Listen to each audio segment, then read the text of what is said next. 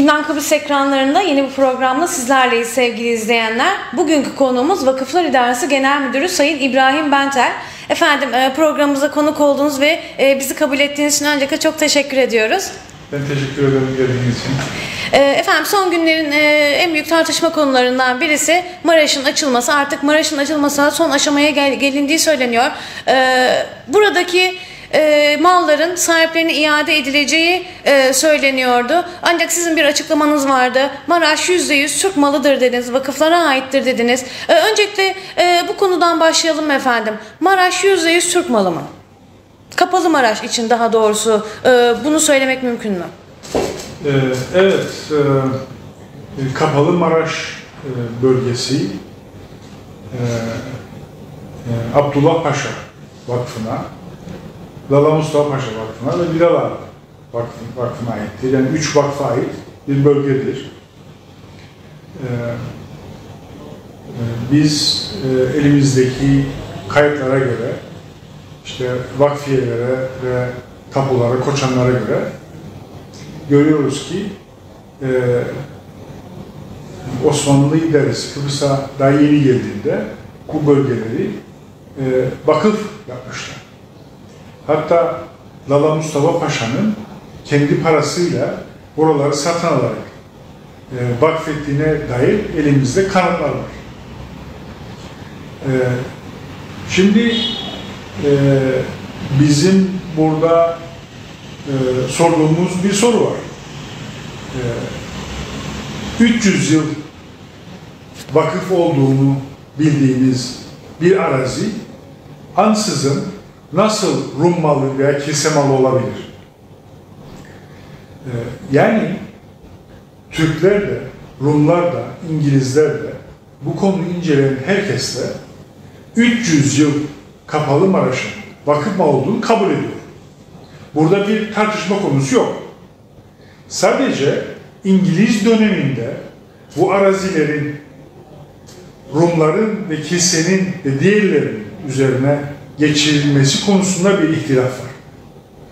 Yani biz vakıflar olarak diyoruz ki 300 yıl vakıf olan bir yeri sen herhangi bir nedenden dolayı kişilerin, kurumların üzerine geçiremezsin. Çünkü vakıf kanunları ne diyor? Bir mal vakfedildiğinde o sonsuza kadar vakıftır. Ve toplumun hizmeti için kullanılır. Dolayısıyla 300 yıl vakıf malı olduğunu kabul ediyorsak, ispat edebiliyorsak, edebiliyoruz. E, daha sonra İngiliz döneminde Rumların ve kilisenin üzerine geçirilmesi hukuka aykırıdır. İngilizler zaten 1878'de adaya girdiklerinde Osmanlı ile, Osmanlı idaresi ile anlaşma yaptıklarında biz vakıf mallarını vakıf kanunlarına göre idare edeceğiz diye imza attılar. E, vakıf kanunları ne diyor? Bir mal vakfedildiğinde sonsuza dek vakıf kalır, toplumun hizmetinde kalır. Kişilerin üzerine geçirilemez, hediye edilemez, e, satılamaz der vakıf kanunları. 1923'te adanın e, e, ada İngiliz yarısını geçtiğinde Lozan Anlaşması'nda Lozan Anlaşması'nda da İngilizler vakıf mallarını vakıf kanunlarına göre idare edeceğiz diye imza attılar. Dolayısıyla e, birçok araziler ve Kapalı Maraş 300 yıl vakıf malıydı ve e, biz yine e, orasının vakıf malı olarak e, olduğunu ispat edebiliriz, gösterebiliriz. Yüzde yüz. Yani 4300 kusur dönüm arazinin yüzde yüzü vakıf arazisidir. Burada diğer bir konu daha vardır. İngilizler e, vakıflara e, 1940'larda geldiler ve dediler ki e, Vakıflar İdaresi bu değişik araziler için insanlardan kira topluyor. İngiliz Deresi dedi ki vakıflara siz bu kiraları kişilerden toplamayın. Bunların toplam kirasını ben İngiliz idaresi olarak vakıflara her yıl ödeyeceğim. Ve o zaman bir miktar tespit edildi. Ve Kapalı Maraş ve daha birçok arazi için İngiliz idaresi bu kirayı her yıl vakıflara ödedi. Ve 1960'da Kıbrıs Cumhuriyeti kurulduğunda İngiliz idaresinin sorumlulukları Kıbrıs Cumhuriyeti'ne geçtiği için Kıbrıs Cumhuriyeti bu kirayı her yıl Kıbrıs Vakıflar Dersi'ne ödemeye devam etti. 1960 problemleri başlayana kadar. Bu da ne demektir? İngilizler ve daha sonra Kıbrıs Cumhuriyeti yetkilileri bu arazilerin Kapalı Maraş dahil bu arazilerin vakıf malı olduğunu kabul etti. Kabul etmese niye kira ödemeye devam etsin? Ve bu yapılan anlaşmalarda ne, ne diyor? Ee, kira ödenmeye devam ettiği müddetçe siz orasını tasarrufunuzda tutabilirsiniz. Kullanabilirsiniz yani. Ama kira ödemeye vazgeçtiğinde onun tekrar tasarrufu vakıflara geri gelir. Dolayısıyla 1963'te kira ödemesi durduğunda vakıflar orasını tekrar kendi tasarrufuna alabilmesi gerekir ama olaylardan dolayı alamadılar. E Şimdi bugün bir e, Rum veya kilise gelip dediğinde e, bu yerler bizimdir. Biz buna karşı çıkıyoruz. Çünkü bizim elimizde hem Osmanlı vakfiyeleri vardır. Orasının vakfı olduğunu ispat eden hem de İngiliz kütükleri, tabuları vardır. Buralarının vakıf malı olduğunu ispat eder. Bu zaman içerisinde bu Rumların elinde olan belgeler bunlar e, kira belgeleridir, tasarruf belgeleridir. Yani eskiden veriliyordu. Yani sana veriliyor bir belge. Bu neyi ispat ediyor? Senin oranın resmi kiracısı olduğunu ispat eder. Şimdi bu belgeleri kullanarak mülkiyet hakkı iddia ediyorlar. Bu vakıf kanunlarına aykırıdır.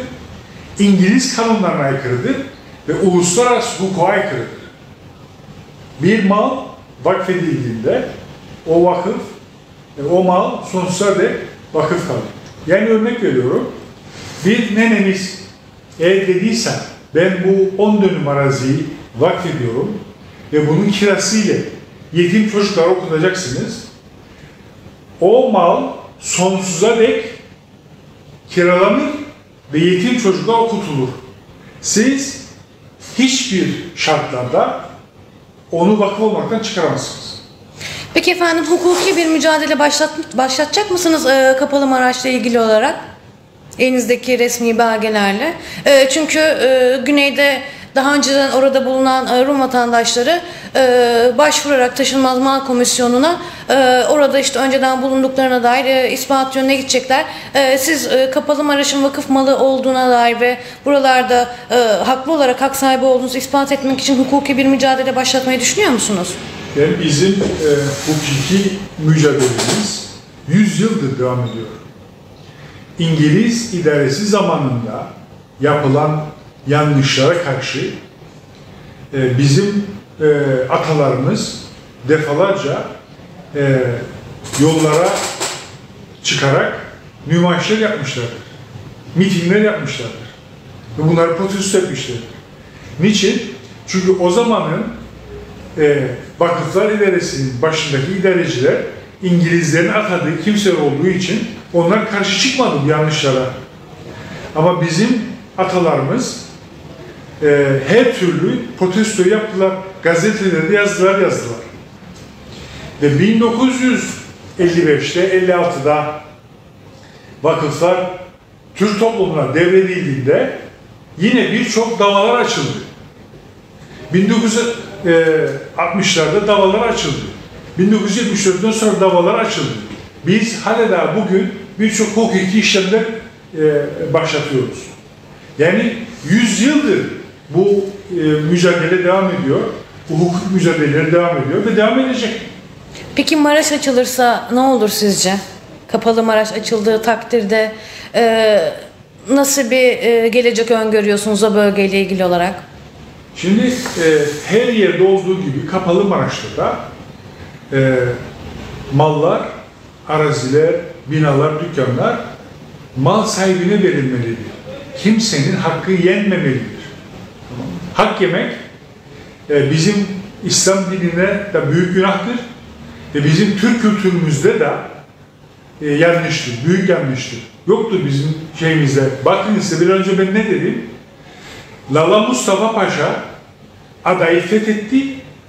Fethettikten sonra kişilerden parasıyla satın aldı o yerleri ve vakfetti. Bu ne demektir? Yani ordunun başındaki kimse bütün güç elinde istese gider o insanları zorla orada attırır, attırmadı. Parasıyla satın aldı ve vakfetti. Dolayısıyla bizde, bizim tarihimizde, e, Türk tarihinde, Osmanlı tarihinde hiçbir zaman kimsenin hakkını yemek yoktur. Yenmemiştir. Dolayısıyla Kapalı Maraş'ta da mülkiyet sahibi kimisi ona verecek. Mülkiyet sahibi kimdi? Vakıflardır. Biz bunu ispat edebiliriz. Ha, eğer zamanında bir araziyi kirasında, tasarrufunda bulunan biri oraya bir yatırım yaptıysa, bir Rum veya bir İngiliz veya kim ise o kimse gelir vakıflarla bir sözleşme yapar ve binasını kullanır. Otelini kullanır. Ama arazinin yerin sahibi vakıflardır. Bir de efendim e, İngiliz Üsler bölgesindeki mallar ve e, güneyde de aynı zamanda birçok e, vakıf malı olduğunu açıkladınız. E, bu efendim İngiliz Üsler bölgesindeki e, malların, yerlerin durumu nedir acaba? Şimdi İngiliz idaresi e, üsler bölgesindeki e, e, askeri olmayan bazı yerleri e, kullanıma, yatırıma açacağını açıkladı. E, biz de e, Vakıflar İdaresi olarak ve e, Türk vatandaşlar olarak e, oraya e, İngiliz üslerindeki idarecileri yazı yazdık ve dedik ki bu çok güzel bir haber. Dolayısıyla biz de faydalanmak istiyoruz. Kendi arazilerimizi, yerlerimizi kullanmak istiyoruz. İngiliz idaresi de bize cevap yazdı ve dedi ki Türk malları e, korunacaktır ve sadece Türkler tarafından kullanılacaktır diye teminat verdiler yazılı olarak. Sözlü açıklamalar da yaptılar. Yazılı olarak da bize bunu bildirdiler. Dolayısıyla biz şu anda çalışmalar yapıyoruz. E, bu e, arazilerimizin e, kullanımı için. Bir de efendim e, geçen gün Alsancak Belediye Başkanı e, 2015 yılında açtığı davanın sonuçlandığını söyledi. E, Maramonte'ye gelmek istiyorum. E, Maramonte plajı artık halkındır dedi. E, basından da bildiğimiz, takip ettiğimiz kadarıyla e, orası da oranın arazisi de vakıfların ancak 2012 yılından beri yanlış hatırlamıyorsam orayla ilgili e, bir kira sorunu olduğu söyleniyor. E, ve gene yanlış hatırlamıyorsam eğer siz de bu konuyla ilgili bir hukuki e, süreç başlatmıştınız, başlatmışsınız. E, buranın durumu ile ilgili bir gelişme var mı yoksa hala daha mahkemesi devam ediyor mu araziyle ilgili olarak? Ee, Şimdi Vakıflar İdaresi orasını e, yatırım yapılması için, otel yapılması için bu Merit Oteller grubuna kiralamıştır zamanında. E, fakat orada e, bazı çalışmalar yapılırken e, eski eserler bulununca e, bazı e, kiralanan arazinin bazı bölgelerinin yatırıma kapatılma durumu oldu. Ondan dolayı bir ihtilaf ortaya çıktı ve bu mahkemeye e, gitti. Şu anda mahkemede e, bir süreç var, devam ediyor. Ümit ediyoruz ki kısa zamanda bu çözülür ve oraya e, gerekli yatırımlar yapılır ve biz de kiralarımızı alırız. Evet.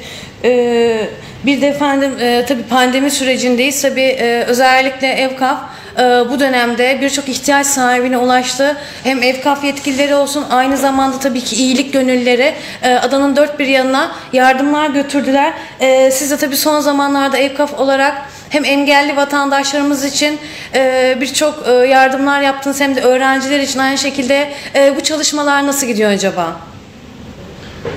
Tabii bizim nenelerimiz, dedelerimiz mallarını vakfederken niçin vakfetmişler? E, topluma e, hizmet vermek için. E, özellikle e, fakir fukaraya, engellilere, yaşlılara, e, okul yapmak için, e, cam yapmak için, yol yapmak için, sağlık ocağı yapmak için. E, bu amaçlarla e, hizmet vakfetmiştir. E, ve yüzyıllarca bu hizmetler yapılmış. Şimdi biz de atalarımızın yolunda e, bu tip e, işleri yapmaya çalışıyoruz. E, mesela son iki yıldır e, tüm devlet okullarının e, tamirlerinin yapılması için ciddi katkı koyuyoruz. O projeler için harcadığımız para 2 milyon Türk lirası. E, buna ilaveten işte son e, iskelede e, bir kolej binası yapılması için 8 milyon TL bir katkı koyduk. E, aynı zamanda e, her yıl öğrencilerimizin, ihtiyaçlı öğrencilerimizin işte okul üniforması, kırtasiye ve diğer ihtiyaçlarına destek veriyoruz. Bu sene tablet ihtiyacı var. Bu konuda çalışmalarımız var, destek veriyoruz. E, hastanelere e, yaptığımız yardımlarımız vardır. Gerek tamirler, gerek cihaz alımı. E, sağlık ocakları için yer verdik e, bazı bölgelerde. E, pandemi sırasında acil e, ambulans ihtiyacı doğdu. Beş tane ambulans e, aldık. Tam donanımlı. Bunları Sağlık Bakanlığımıza verdik. E, yani bu tip çalışmalarımız devam ediyor.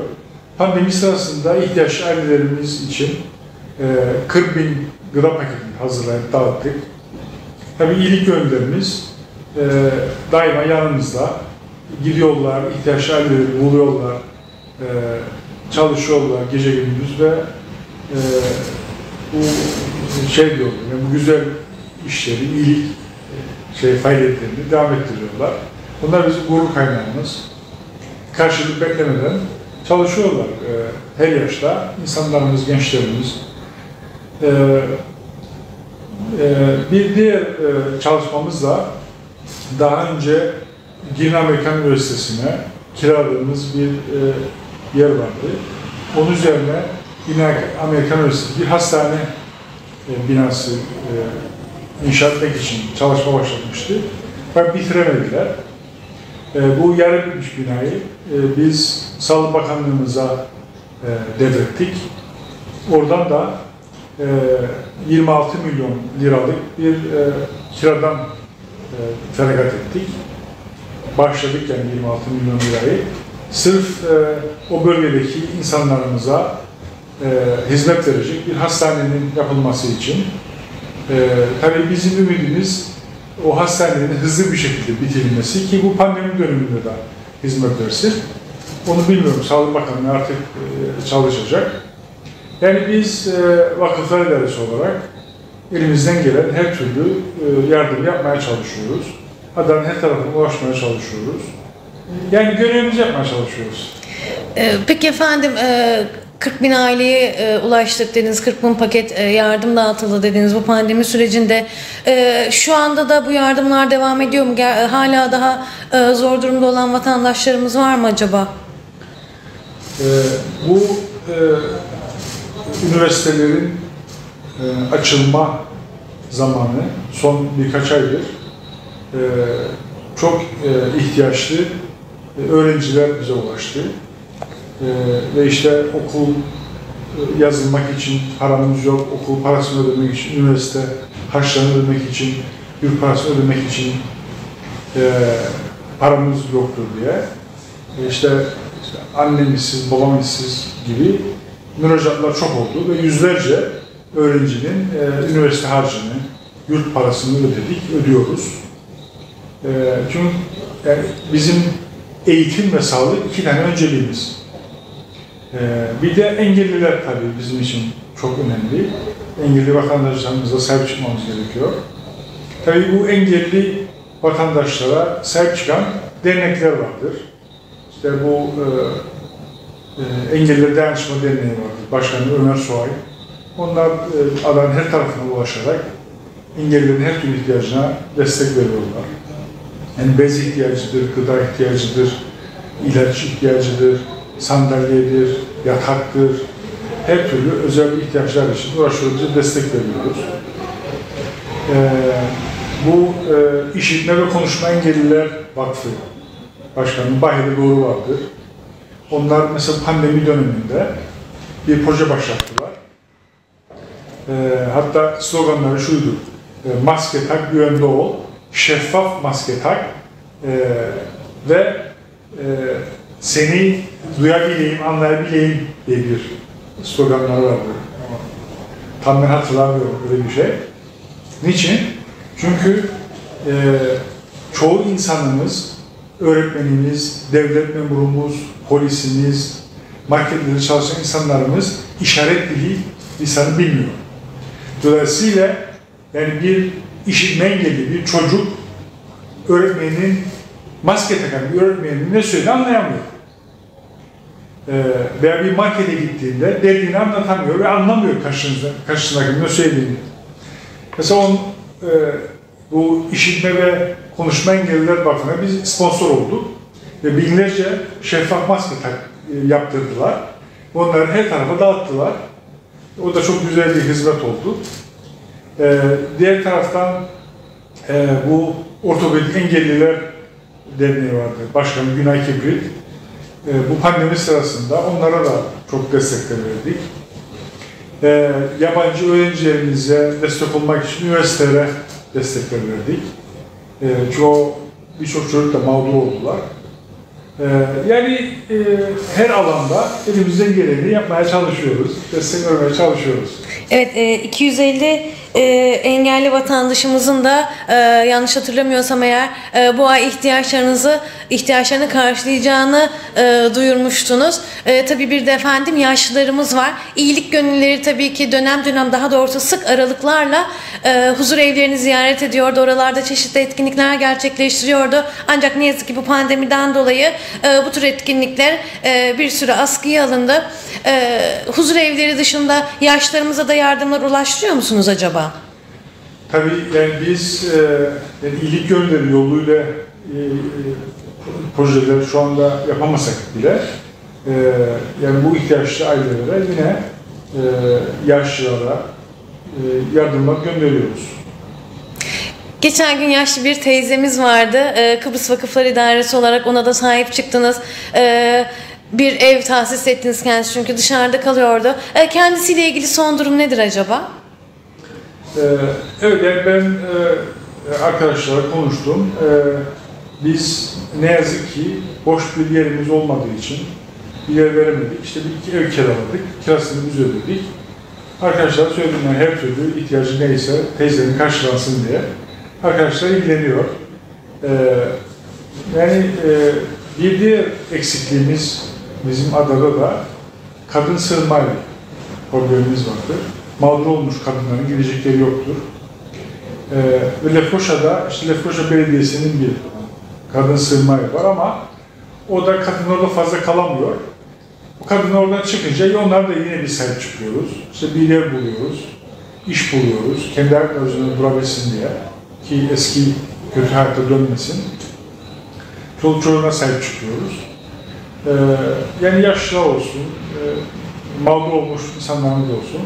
Elimizden geldiği kadar destek olmaya çalışıyoruz.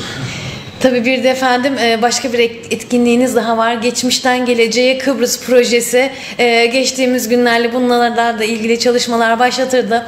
E, geçmişten Geleceğe Kıbrıs projesini bize anlatır mısınız acaba?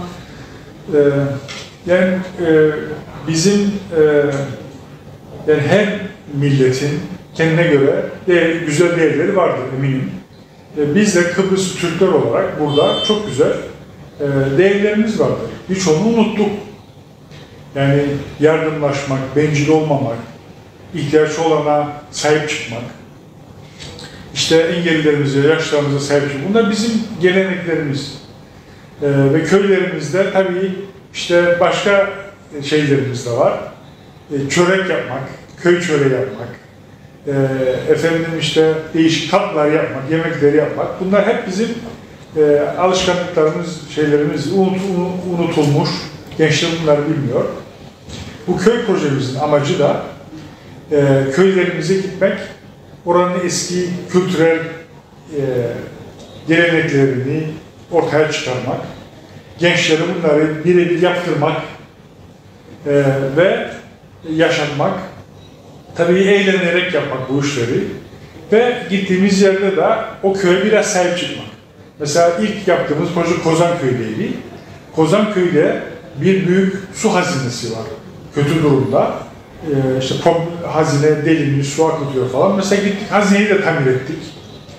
Ee, köyün merkezindeki bazı işte eski çeşmeyi tamir ettik ee, falan. Yani hem köye bir katkımız olsun hem de oradaki eski gelenekleri ortaya çıkarmak ve köylülere de, köylü, orada yaşayan gençlere de sahip çıkarak belki onlara iş fırsatları yaratmak.